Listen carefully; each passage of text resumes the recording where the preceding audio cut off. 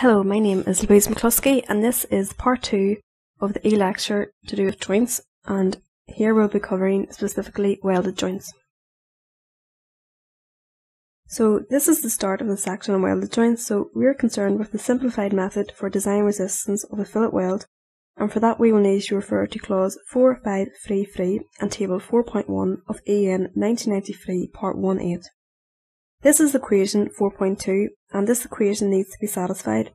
So what it's telling us is that basically the design value of the force on the weld must be less than the, the design resistance. So this is equation 4.3 and in the previous slide we had this term F, FWRD, so the design shear resistance per unit length and this expression 4.3 is telling us how to work out that resistance so it's equal to the design shear stress of the weld FVWD times the effective throat thickness of the weld A. So A is the effective throat thickness of the weld and in the Eurocodes you have figure 4.3 in EN 1993 part 1.8 which is similar to this diagram which helps you to work out the value of A. So we know what A is and we need to know how then to work out how to, we need to know how to work out um, FVWD so the design shear strength of the weld. So we're going to be using equation 4.4.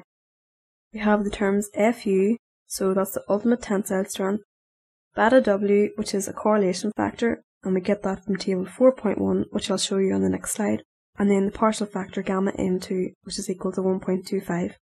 So we need beta W and FU before we can work out that equation. So this is an extract from table 4.1, which I was telling you about, and it gives the values of beta W and that depends on the steel grade used, so it's quite easy to work out beta W from that table. So for grade S275 steel, we have a correlation factor of 0.85, and for grade S355 steel, we have a correlation factor of 0.9. Now this is an extract from the product standards, and we will use this table to work out the ultimate tensile strength, FU, so you should already be familiar with this table. So now we have all of the terms and you can work out FVWD, the design shear strength of the weld, using equation 4.4. So that's just a brief summary of how to work out the design resistance of a weld and next I'll go through a brief example to help you understand it a bit better. So here we have to work out the shear resistance of the welded end plate shown in the diagram. We have several assumptions, so the throat thickness of the fillet weld A, we're assuming it's 8, mil, 8 millimeters, the plate thickness is equal to 10 mm, the steel grade is S275 and the shear force VWED is taken as 500 kilonewtons. Now the first thing that we need to do is to work out the design shear strength of the weld, so we refer to expression 4.4 and to use that expression we need to know the terms FU and beta W. So you can see at the bottom extract from table 4.1 we're using grade S25 steel, S275 steel and therefore the correlation factor beta W is equal to 0.85.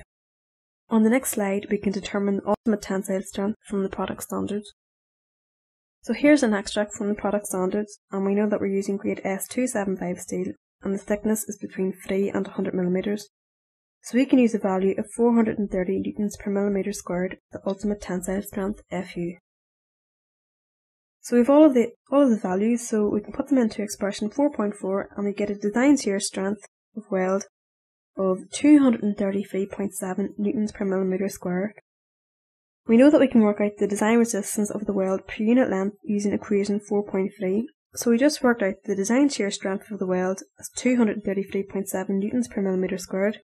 And one of the assumptions was that the throat thickness A was 8 millimeters so putting in those values we get a design resistance of the weld per unit length of 1869.6 newtons per, newtons per millimeter. We can work out the length of the weld then, so uh, we have the height of the plate which is 200 millimeters minus 2 times the throat thickness which is 8. So the weld length equals 184 millimeters. The shear resistance of the weld is two times the design resistance of the weld per unit length times the weld length, which we just worked out. So that works out as 688 kilonewtons. Now we know that the design force should be taken should be less than the design resistance. So the design shear force should be less than the design shear resistance. We were told uh, that the design shear force was 500 kilonewtons, and we just worked out that the design shear resistance was 688 kilonewtons. Therefore, the weld is suitable. And this example concludes this e-lecture on joints. Thank you.